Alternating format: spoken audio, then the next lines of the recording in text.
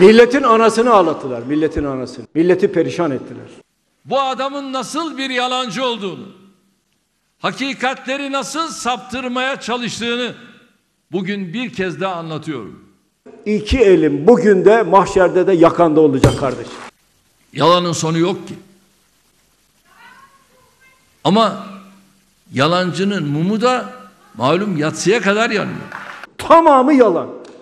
Ama benim söylediklerimin tamamı doğru. Tamamı doğru. Maalesef bunların her işi böyle.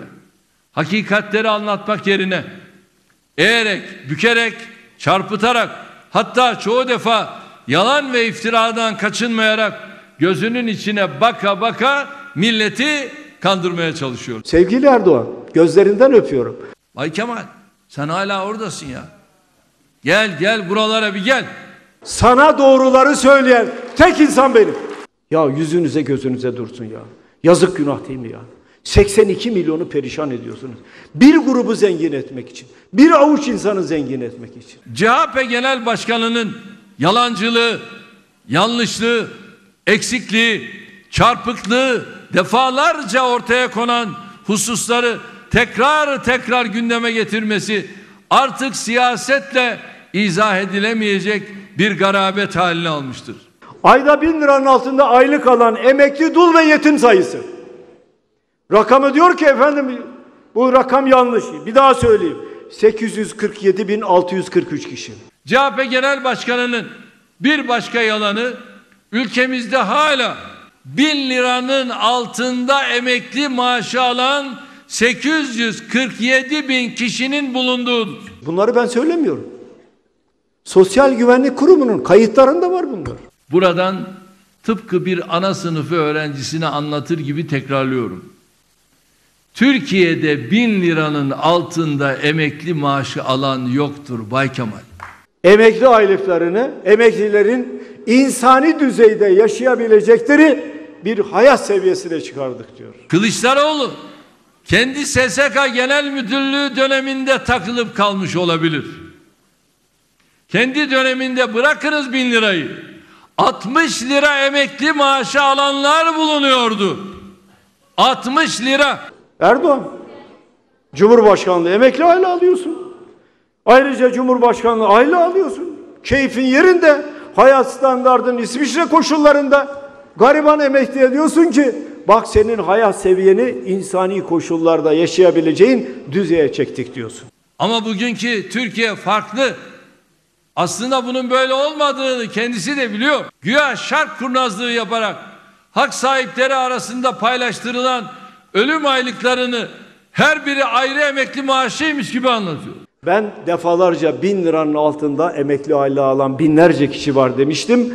Yalan söylüyorsun demişlerdi. Doğru değildir demişlerdi. Sonra baktılar ki ya Kılıçdaroğlu doğruyu söylüyor. Ölüm aylığı. Halbuki ortada tek bir emekli maaşının birden fazla hak sahibi arasında paylaştırılması vardır. Kim yalan söylüyor? Kim doğruyu söylüyor?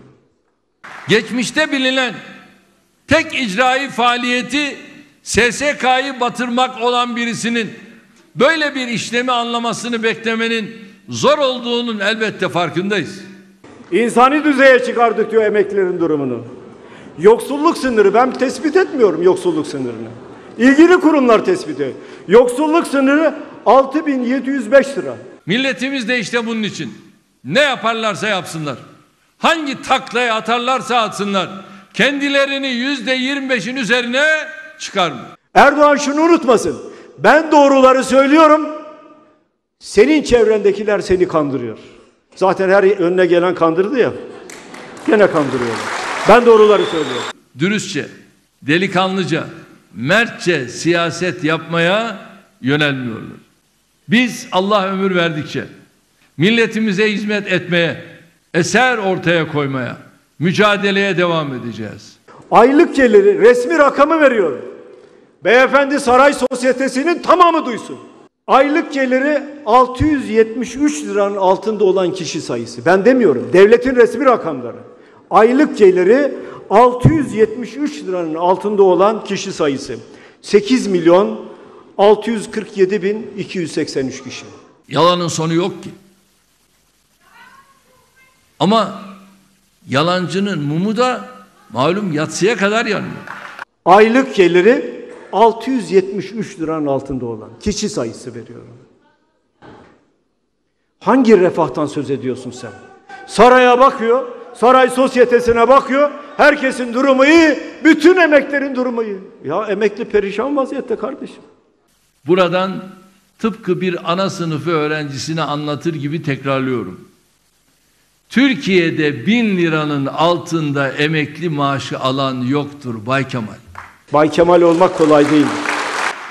Kılıçdaroğlu kendi SSK Genel Müdürlüğü döneminde takılıp kalmış olabilir. Kendi döneminde bırakınız bin lirayı.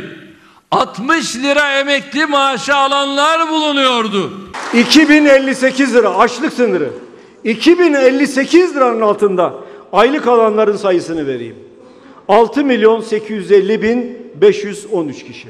Yalan ve iftiradan kaçınmayarak gözünün içine baka baka milleti kandırmaya çalışıyorlar. 6705 lira emekli aile alan kaç kişi var Allah aşkına ya? Kaç kişi var? Yüzde doksanından fazlası yoksulluk sınırının altında. Açlık sınırı 2058 lira. Açlık sınırı 2058 lira.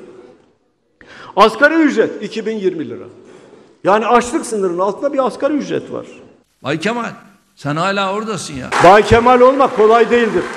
Gel gel buralara bir gel. Bay Kemal. Her CHP'li bir Bay Kemal'dir. Ben buna inanıyorum. Geçtiğimiz 17 yıl boyunca neredeyse yaptığımız her yatırımı engellemek için davalar açan, numayişler yapan, kürsülerde nutuklar atan kimdi? Bunlardı. Bakın arkadaşlar.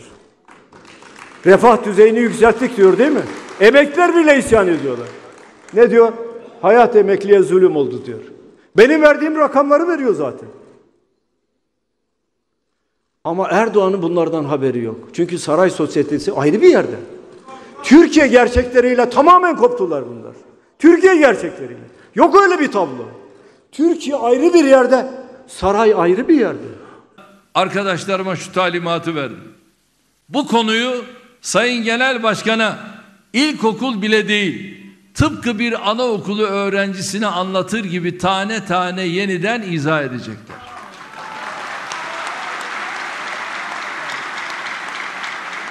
Ta ki anlayana kadar bu izahı sürdüreceğiz. Hatta hatta görüntülü olarak. Görüntüsüz anlamayabilir, görüntülü olarak. İğneden ipliğe her şeye zam yaptın. Doğalgaza zam yaptın. Elektriğe zam yaptın. Her şeye zam yaptın. Emekliye gelince yüzde dört beş zam verdin. Sonra da senin hayat standardını insani düzeye çıkardım diyorsun. Ya sen çöp çöp konteynerlarından yiyecek toplayan adam görmedin mi? Kadın görmedin mi ya? Pazarlarda akşam saatlerinde pazar atıklarından nafakasını toplayan aileler görmedin mi sen ya? Ne çabuk unuttun sen ya. Ne çabuk unuttun sen. Bugünkü Türkiye farklı. Aslında bunun böyle olmadığını kendisi de biliyor. Emekli aylıklarını aylık bağlama oranını değiştir düşürdüler. Böylece emekli daha az emekli aylığı alacak. 2008'den sonra emekli olanların eline daha az emekli aylığı geçecek. Milletimiz de işte bunun için. Ne yaparlarsa yapsınlar. Hangi taklaya atarlarsa atsınlar.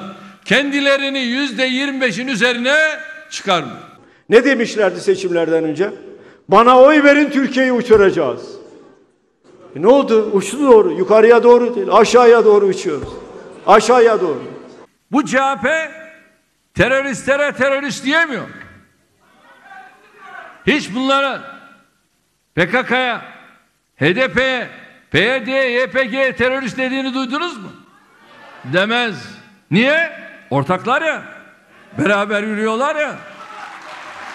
Daha çok beraber yürüyecekler. Ama benim milletim teröre omuz veren, onlarla beraber yürüyenlere gereken dersi inşallah 2023'te de verecek, 2024'te de verecek. Bay Kemal olmak için elin harama uzanmayacak. Bay Kemal. Bay Kemal'e beş tane koyun teslim edin, inanın kaybeder yapacağı bir şey yok. Bay Kemal vatanını ve milletini seven birisidir. Bu CHP teröristlere terörist diyemiyor. Hiç bunlara PKK'ya, HDP'ye, PYD'ye, YPG'ye terörist dediğini duydunuz mu? Kemal olmak için egemen güçlerin karşısında onurlu bir insan gibi duracaksın.